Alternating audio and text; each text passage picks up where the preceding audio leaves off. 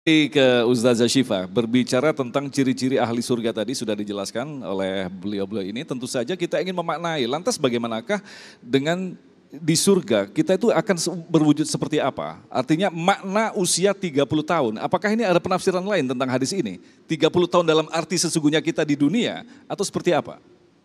Bismillahirrahmanirrahim.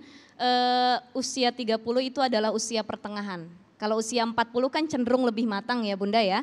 Di usia 40 nanti biasanya kita mulai muhasabah lebih banyak itu Bapak. Ya, selama di dunia itu saya sudah melakukan apa? Apa yang sudah saya capai dan lain sebagainya. Sebagai seorang istri apa yang sudah dilakukan? Pengajaran apa terhadap anak-anaknya? Nah, di usia 33, 30 yang tadi disebutkan oleh guru kita ini adalah usia-usia labil. Maksudnya labil di sini dia belum begitu matang tapi juga tidak terlalu muda kalau tadi disebut 17 kan masih anak-anak alay ya Bu. ABG-ABG yang masih ya begitu deh main TikTok dan lain sebagainya. Ibu-ibu yang main TikTok sini.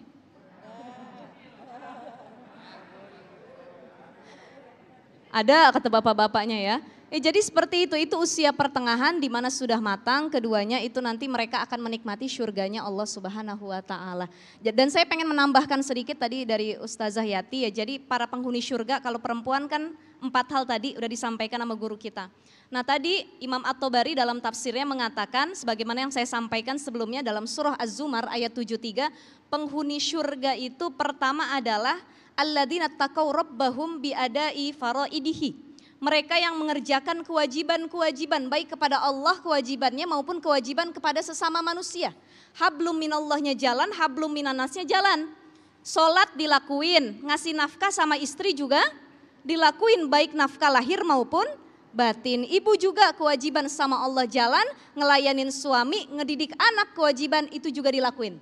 Jadi yang pertama menjalankan kewajiban kepada keduanya.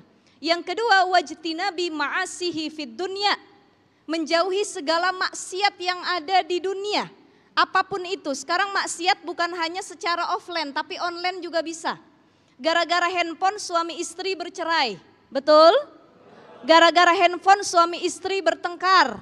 Gara-gara handphone rumah tangga habis dibabat oleh godaan setan. Nih media sosial yang terkadang jadi pusat maksiat di dalamnya. Bapak kalau buka handphone yang dilihat apa pak? Foto istri, bukan foto istri orang. Bukan. Ibu kalau yang dilihat foto suami atau foto suami tetangga? Ya, jadi ini ternyata jadi ladang maksiat. Itu yang kedua, orang yang menjauhi maksiat mereka nantinya akan masuk surga, dibukakan pintunya oleh Allah Subhanahu wa taala dan silahkan masuk dari pintu mana pun. Ini adalah orang-orang yang dijanjikan surga oleh Allah. Baik, kembali ke Bunda. Ketika kita berbicara tentang ciri-ciri tadi, insya Allah kita optimis bahwa dengan berbaik sangka kepada Allah kita masuk surga. Tapi ada satu hal yang harus kita cermati secara mendalam tentang yang masuk surga adalah yang mendapatkan rahmat Allah. Bukan lantaran dengan amalan-amalan kita. Bagaimana memahaminya? Betul. Kalau kita masuk surga mengharapkan amalan-amalan kita, Betapa banyak amal-amal kita yang menurut kita itu adalah amal baik. Tapi menurut Allah belum tentu. Makanya kata Imam Ghazali dalam Ihya Ulumuddin, ada tiga proses untuk amal itu dinilai baik. Pertama, nawaitunya, niatnya. Yang kedua, prosesnya. Yang ketiga, akhirnya. Kadang-kadang nawaitunya baik, tengah-tengahnya jelek. Iya, niat mau ngaji di pengajian, main WA, main TikTok, nonton drakor, nah gitu. Apalagi kalau ustadznya nggak enak, ya niatnya mau ngaji, abisnya di itu cuma apa? Selfie selfie, kan gitu. Yang penting mah selfie-nya di pengajian, kan rusak. Iya, niatnya beramal, iya bingung nih mau beramal berapa, 100, 200, eh begitu nyampe, ya Allah token abis, nggak jadi dah, nggak jadi 200, nah, itu susah. Makanya dari situ kita melihat bahwa keridoan Allah lah Ya, tidak ada nominal-nominal berapa kita ini masuk surga ya Allah. Kalau kita berbakti sama suami rasanya adem Bu, Allah ridha. Cari amal yang Allah ridha. Bapak pun begitu. Betapa banyak amal-amal kita ini yang benar atau tidak, tapi mutlak yang tertinggi adalah keridhaan Allah. Makanya di sana yang pertama sekali dicabut adalah rasa dendam, rasa benci di surah Al-Hijr ayat 47. Wa naza'na ma fi sudurihim min ghillin ikhwanan ala sururim. Enggak ada cemburu bu, meskipun suami kita punya 70, santai kelos.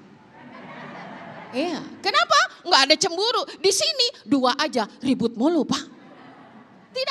nggak ada beban cemburu, nggak ada beban sakit hati, nggak ada berbagai macam. Kenapa? Karena semuanya udah dihilangin sama Allah. Jadi ciri-cirinya ketika kita bagaimana memperoleh kebaikan, dinikmati bagi diri kita, mendapatkan ridha Allah Subhanahu wa taala, tentram jiwa kita. Insya. Oh, baik, terima kasih Buddha.